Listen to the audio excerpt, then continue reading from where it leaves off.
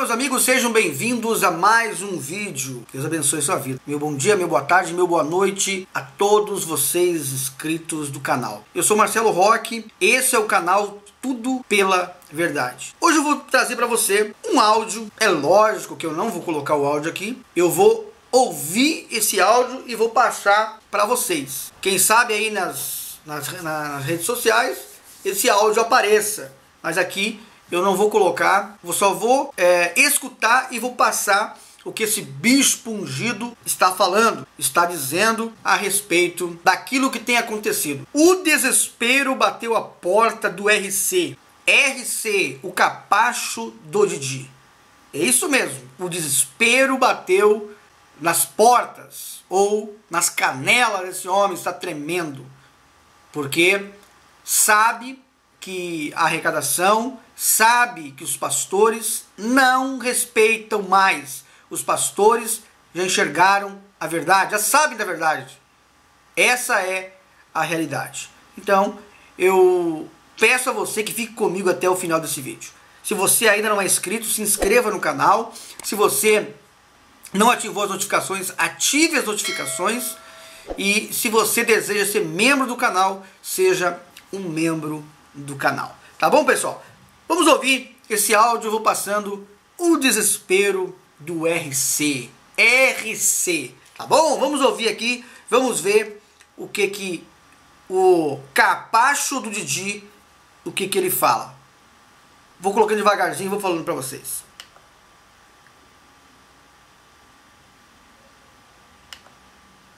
Por que você entraria na igreja de Satanás hoje? chamada internet. Então preste atenção, ele está dizendo que a internet é a igreja, preste atenção, como esses homens estão perdidos.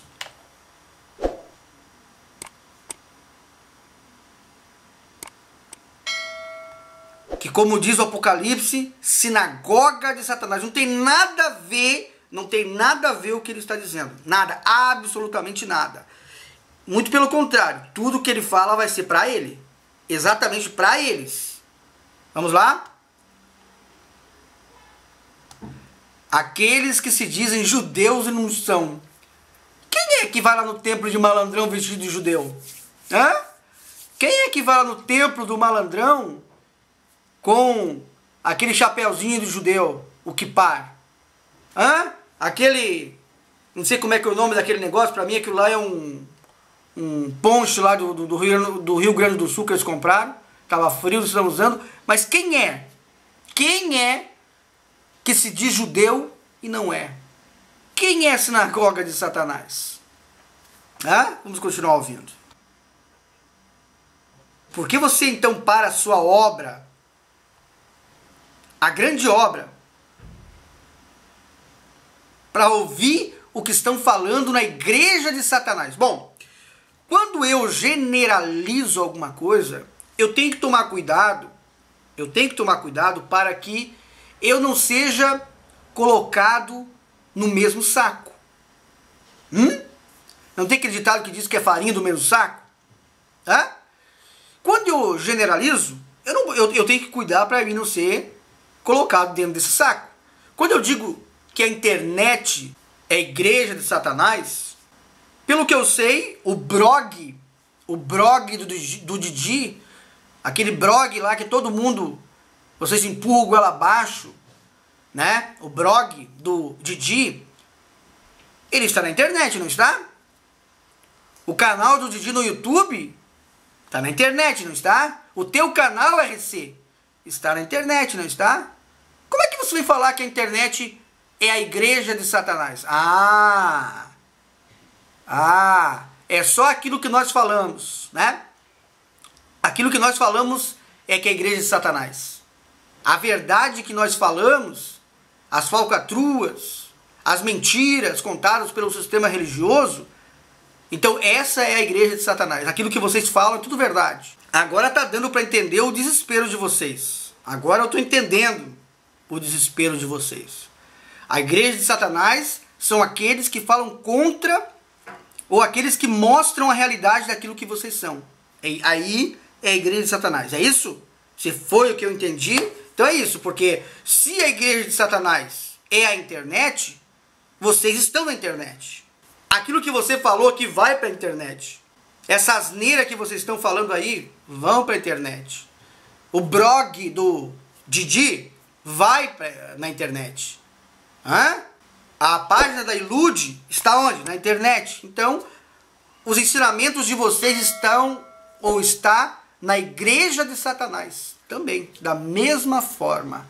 Essa é a realidade. Então, meu caro, quando você generaliza, você cai dentro do mesmo saco. Só porque você está na privacidade da internet, qual a diferença? Você fazer a privacidade do seu celular ou você parar na rua e entrar no vídeo? Hã? No vídeo. Qual a diferença? Você está ouvindo sambalar. Ah, sambalar! Sambalar! Compreenderam? Amém. Hã? Estão ouvindo sambalar. Sambalar deve ser, deve ser lá no Rio de Janeiro. Quando o cara fala assim, sambalar. Aí o cara vai sambar do outro lado, é isso? Deve ser isso, porque Bíblia eles não entendem absolutamente nada. Não sabem nem do que estão falando. Vamos ver outra partezinha aqui. Não deixe ninguém te distrair. Talvez está, ah, alguém está lá ouvindo sambalar. Alguém caiu do teu lado. Não olhe para ninguém não. Olha para o que Deus te chamou. Aproveita a oportunidade. Vamos ouvir outra parte. Talvez você ouviu o Domingo Espetacular. Talvez assistiu até o Fantástico. E você não assiste as coisas da igreja, ou os vídeos da igreja. Ué, mas para que assistir os vídeos da igreja se, se a internet é a, a igreja de Satanás? Então coloque em outro lugar. Coloque em outro lugar que não se chame igreja. Ah, internet. ah, meu Deus, vamos ver o que fala mais aqui. O seguinte fato. Quando você era membro da, da instituição, quando nós éramos obreiros e percebemos em nós o desejo de ganhar almas, nós sonhávamos com esse dia. Você sonhava com o dia que você, você sonhava com a chance de estar no altar. De 24 horas você poder fazer nada mais do que ganhar almas. Você sonhava quando você estava lá no seu trabalho, na escola, ocupando seu tempo com coisas seculares, você ficava pensando assim, puxa, podia estar na igreja. Ao invés de estar aqui vendendo banana, uma, deixa eu parar um pouquinho aqui que eu achei interessante. Nem todo mundo que nem todo mundo que saiu para ser um pastor da Ilude vendia banana. Mas eles te comparam com isso. Você não tinha nada. Hoje, olha o que você tem. Olha o que, que você é. Muitos eram empresários, venderam tudo e deram na instituição e foram fazer a obra, né? Cuidando de coisas perecíveis, eu podia estar cuidando da obra de Deus. Você pensava assim. Você almejava uma chance de, de almas para a eternidade. Você podia estar cuidando de almas para a eternidade. Bom, vou parar por aqui porque é, é, chega a ser nojento. O foco principal, na verdade, é ele dizer que a internet é a igreja de Satanás. É a, a mesma internet que eles usam. A mesma internet mas eu sei que ele está falando para os vídeos que mostram a realidade do sistema religioso. Infelizmente, eles querem que você fique seja uma pessoa bitolada naquilo que eles querem que você acredite. Por quê? Porque assim você vai sustentá-los. Você, pastor, essa reunião foi para você. Quando você estava aí como obreiro, membro, você sonhava em ser pastor, você sonhava em ser um obreiro. E quando você se tornou obreiro, você sonhava ser um pastor para ganhar almas para a eternidade, como ele disse. E o que, que você ganha hoje? Riquezas para o Didi. Você ganha simplesmente riquezas. Você é cobrado simplesmente pelas ofertas, dízimos, campanhas, cegueira anta e assim por diante. Você sabe disso. Você sabe mais do que eu, sair dentro. Agora, ouvir esses homens, você ouve se você quiser. E por que, que ele está falando isso? Porque ele sabe que vocês, pastores, também estão acordando. Então, o blog do Didi está na a igreja, ele falou na casa, não, na igreja de Satanás. Porque está na internet. A igreja é, a, a internet é a igreja de Satanás, segundo o RC. Segundo o bispo ungido, o bispo das, das labaredas de fogo aí, né? O chefe de todos os pastores do mundo, o homem que foi colocado pelo Didi aí, mas que ninguém respeita. Essa é a realidade. Essa é a realidade nua e crua. Fazer o quê? Então, a internet agora é a igreja de Satanás.